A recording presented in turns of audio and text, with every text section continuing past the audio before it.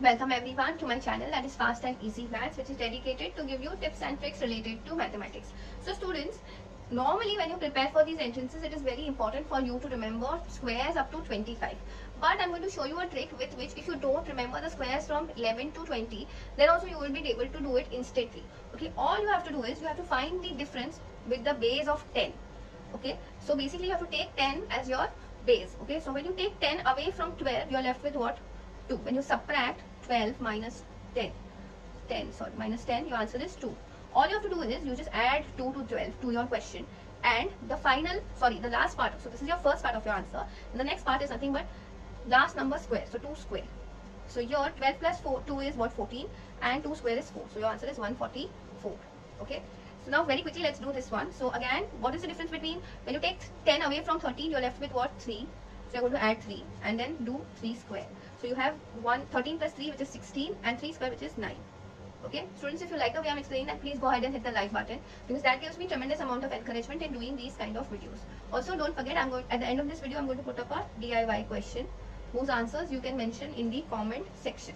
Okay, so this one is what 16. So when you take 10 away from this, 16 plus 6, and then we have 6 square, which is 36.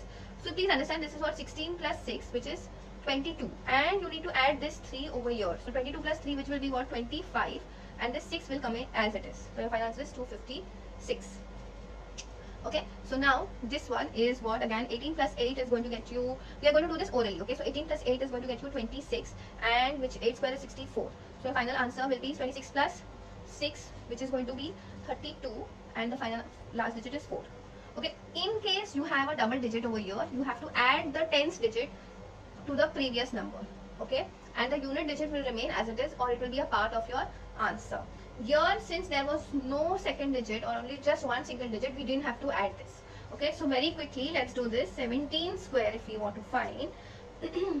So 17 square will be nothing but 17 plus 7 is going to get you 24 and 49 so we have 24 plus 4 is 28 and 9 will come as it is your DIY, I want to tell me, I want you all to tell me what is the answer for square of 14.